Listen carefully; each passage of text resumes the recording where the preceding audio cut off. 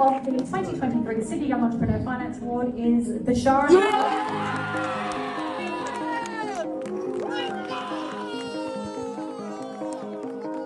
Since uh, 2019, Fundo Loans has been transforming the lending experience for Australians, embracing automation and gamifying the experience, leading to positive customer reviews and a loan book that has soared. You've, um, you've come out on top of one of the toughest contests this evening, so you should be very proud.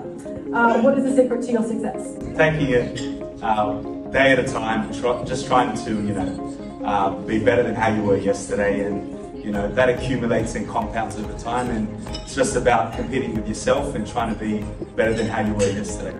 Hey guys, my name is Bishara. I am honored to be the winner of the Sydney Young Entrepreneur Finance category hosted by Business News Australia. Two years in a row, I might add, in the finance category. I'd like to just say thank you to Camilla, uh, the owner of Business News Australia. She started it over 15 years ago. And the judge, Matt, for the selection process. Matt, thank you so much, and thanks for uh, recognizing Fundo for two years in a row in, within the finance category. It's definitely rewarding seeing us being recognized. So thank you so much for that. For all the other people that were nominated, finalists, winners, we'd love to have you on the MVP podcast. We like sharing stories, inspiring the next generation of entrepreneurs, and who better do to do that than Sydney Young Entrepreneurs. So if you're one of those finalists, please uh, reach out to me. We're going to be contacting Business News Australia and hopefully they'll be able to put us in touch with you.